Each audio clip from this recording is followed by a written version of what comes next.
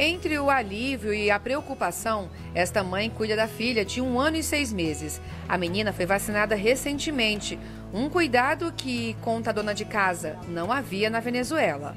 Agora, Renesis sonha em dar um futuro melhor para a filha e em buscar o restante da família que ficou no país vizinho. Tem como uma esperança de que pode uno conseguir um trabalho, de que pode ajudar a sua família, de que se Deus lo permite puede uno traer a su familia acá, pues, para que no pasen por la crisis en la que se está pasando por allá. Na barraca vizinha a Reneses está a Luz Cares. Ela divide o espaço com os pais, a irmã e a sobrinha. Conta que a vida na Venezuela estava muito difícil. Não havia comida, medicamentos ou emprego. Pensa em um dia voltar, mas por enquanto, o único plano é fazer dar certo a chance que está tendo no Brasil.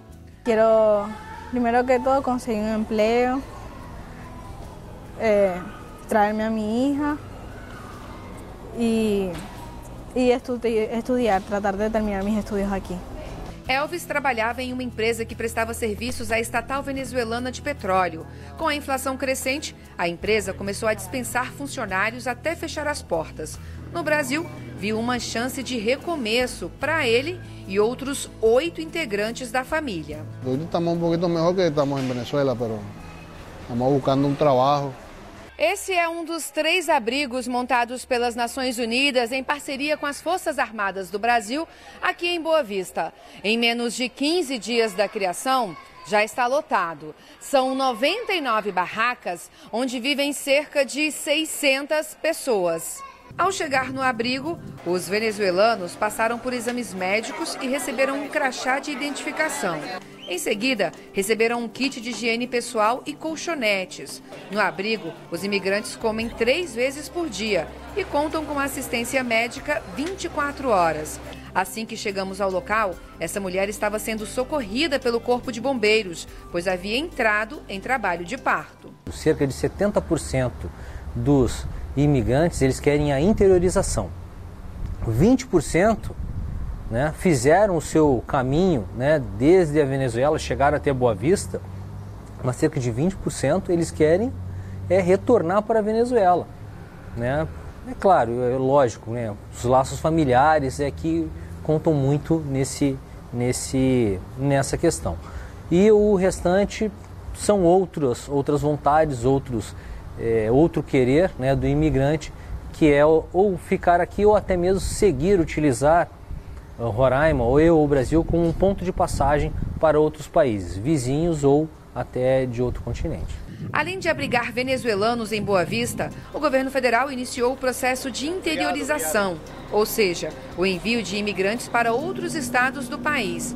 A alternativa foi a encontrada para dar melhores condições aos que querem viver e trabalhar no Brasil. Todo esse trajeto eles são acompanhados até o abrigo de destino.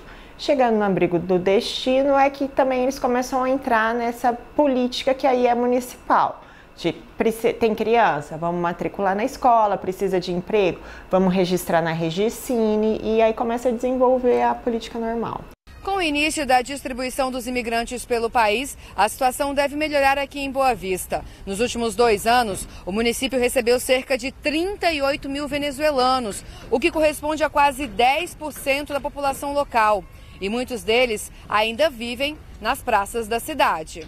As Forças Armadas vão coordenar as ações em Roraima, juntamente com os organismos internacionais, pelo menos até o final do ano. A expectativa é de que até lá haja nove abrigos em Boa Vista, acolhendo 5 mil venezuelanos. A função do abrigo é o, é o seguinte: é, primeiro, dar humanidade né, a essas pessoas que se deslocaram, né, é, dada a crise humanitária que tem no país vizinho, o destaque é a Venezuela, para que eles não fiquem nas ruas das cidades de Roraima, para que eles não, não sejam acometidos de toda sorte de problema de se viver na rua, prostituição, ilícito, uh, de todas as horas, furto, roubo, ou que eles não, eles mesmos não, não se marginalizem a tal ponto de é, iniciar tais, tais, tais ações da nossa sociedade.